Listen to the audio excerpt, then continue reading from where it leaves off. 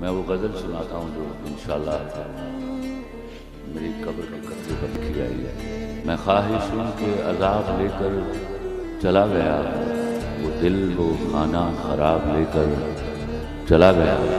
मैं छोड़कर अपनी राह तकती उदास आँखें, मैं छोड़कर अपनी राह तकती उदास आँखें जो बच गए थे वो ख्वाब लेकर चला गया, जिस पे मैंने मोहब्बतों की वही लिखी थी। जिस पे मैंने मोहब्बतों की वही लिखी थी, वो एक ममनू किताब लेकर चला गया।